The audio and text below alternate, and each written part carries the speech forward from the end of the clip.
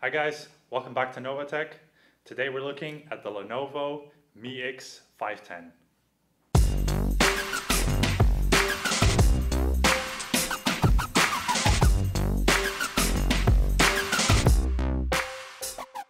So let's start by going over the specifications quickly. So this is a tablet slash laptop convertible. So it comes with a keyboard dock. Um, it uses a Core i5-6200 clocked at 2.3 gigahertz. It's equipped with 8 gigabytes of DDR4 2133 RAM. Also there's a 256 gigabyte SSD in this model, a 12.2 inch Full HD touchscreen, which is also IPS, so it should be pretty good on colors a two cell battery, Wi-Fi, and it comes uh, installed with Windows 10 Pro. So let's open it up and see what's inside.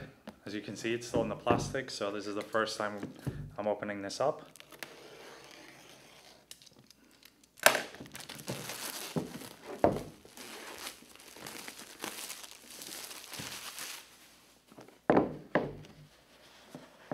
It's a nice presentation. First we have the keyboard cover.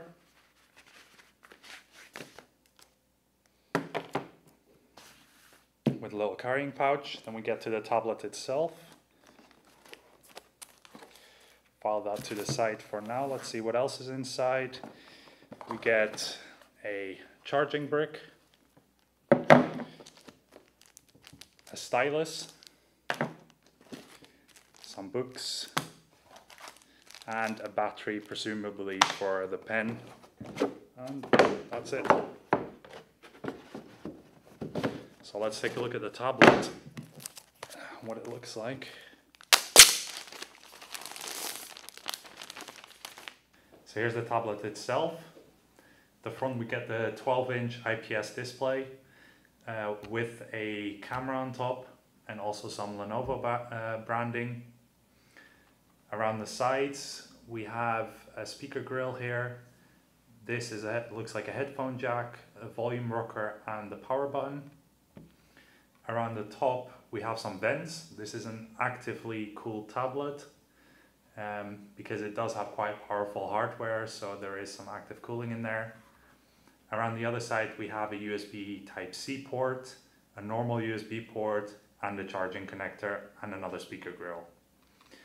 Now around the back, it's all aluminum. Um, we get another camera at the back here and this really interesting hinge design for the kickstand. The kickstand on this tablet is actually adjustable to any degree you want it, to any angle. So that's really nice and it feels quite sturdy. It doesn't feel like it's gonna fall or slip over.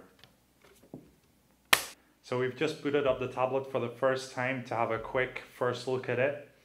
Um, first of all, I've got the keyboard uh, dock on now. The keyboard can actually sit flat on the table or raised up like so and it uh, hinges to the tablet itself. The keys feel pretty nice. There's enough travel for you to be able to type comfortably. There's a little bit of flex, but it's not too bad at all. Um, so looking at the screen now, it actually looks really nice. Um, I like this background that Lenovo's put on. The colors look very vivid. The blacks look pretty good too. Um, we'll have a look quickly at the stylus that's included. This is actually metal. It's got two buttons here and a little pocket clip. Um, let's go ahead and open up the sketch pad so we can see. Just delete this. So there we go, it works flawlessly. You can see actually that when I apply more pressure, um, the line actually gets thicker as well, so it's pressure based and it seems to work really well. So first impressions of the Lenovo Miix 510. They're actually really positive. Um, the build quality of the tablet is really nice. I like the keyboard as well. It feels pretty good to type on. Um, you can also angle it the way you want to, which is really nice and it comes with this cool little handy clip for the pen that actually goes into your USB port. Very clever. So yeah, we're going to be using this tablet for the next couple of weeks. We're going to do a clean install of Windows 10 first, get rid of all that Lenovo bloatware that we don't want. And um, we're going to be making a full video review later on to tell you guys how we like using it every day. So stay tuned for that. Remember, please like our videos and subscribe. It really helps us out and we'll see you next time.